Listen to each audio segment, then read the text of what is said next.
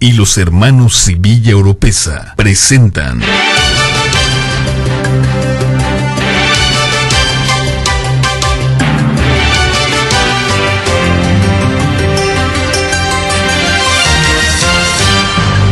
Son las 7 en punto de la mañana, esto es Telereportaje, edición 21.656.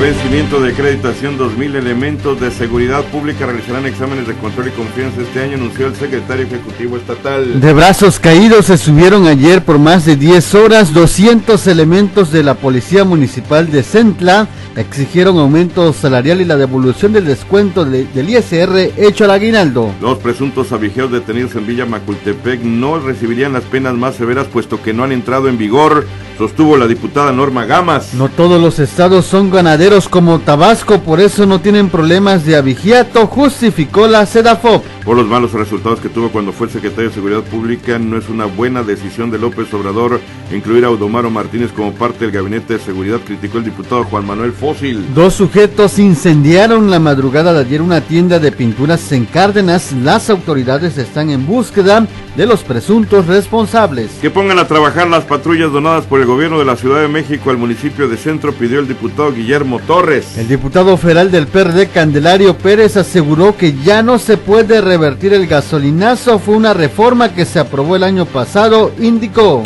Los rumores de un alza excesiva en los precios de la gasolina solo fue, solo fue algo mediático, consideró el diputado federal Héctor Peralta. La construcción del nuevo mercado Pino Suárez va conforme a lo planeado, aseguró la SOTOP, ante las críticas de algunos locatarios que dicen no haber avances en dicha obra. El jurídico del Ayuntamiento de Centro, Ulises Chávez, admitió que aún no concluye la eh, de regularizar a los locatarios del mercado Pino Suárez para garantizarles su espacio en el nuevo edificio. Será hasta finales de febrero cuando se implemente en su totalidad el sistema estatal anticorrupción, aseguró la Contraloría del Estado. Analistas financieros estiman que la inflación anual al cierre de 2017 será la más alta de los últimos 17 años, al ubicarse al menos en el 6.7%. Un incremento del 1.6% en el tráfico de pasajeros registró el año pasado el aeropuerto de Villahermosa. A 16% aumentó la aportación de cuotas de los trabajadores del Estado de Tabasco para el Fondo de Jubilación.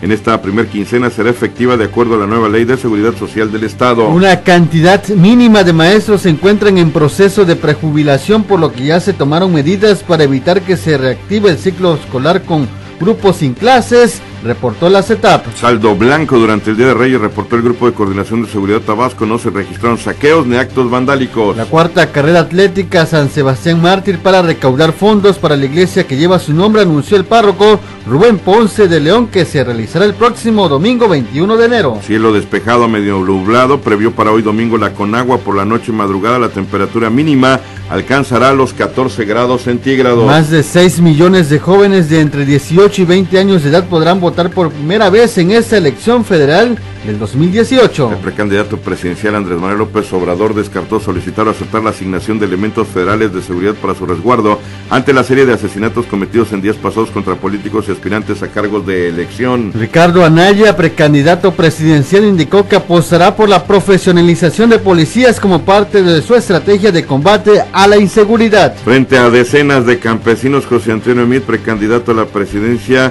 prometió créditos a- para el campo y retiro digno para quienes laboran en él. El Departamento de Estados Unidos venderá a las Fuerzas Armadas Mexicanas diferentes tipos de armamento naval con un costo estimado en 98.4 millones de dólares. En los deportes, Fabián, eh, Marco Fabián es- regresó con el Eintracht Frankfurt el día de ayer, estuvo durante 22 minutos en la cancha y ganaron tres goles por uno para hoy en la Liga Santander de España. Barcelona contra Levante y Celta de Vigo, Real Madrid. En el fútbol mexicano, Liga MX. El pueblo derrotó a Tigres dos goles por uno, León 2 a 1 al Atlas. Ayer empate a cero entre Cruz Azul y el Tijuana, Morelia y Monterrey 1 a 1. El Pumas vino de atrás y ganó tres goles por dos, empate a cero entre Necaxa y Veracruz para hoy domingo. Toluca, Chivas, Santos Lobos y Club Querétaro contra el América.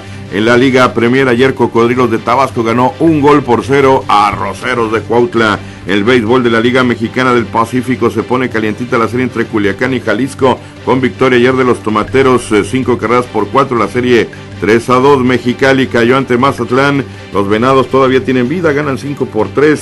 Mientras tanto, Navojoa es el primer semifinalista. Ayer derrotó cuatro por, carreras por tres a este Hermosillo que queda eliminado. Mientras tanto, en el fútbol americano de la NFL, Atlanta derrotó ayer a los eh, Carneros y se instala en la ronda divisional de la Conferencia Nacional. Mientras tanto, Tennessee hizo cera y pabilo a los jefes de Kansas en la Conferencia Americana. Telereportaje, el periódico del aire, el primero con las últimas noticias.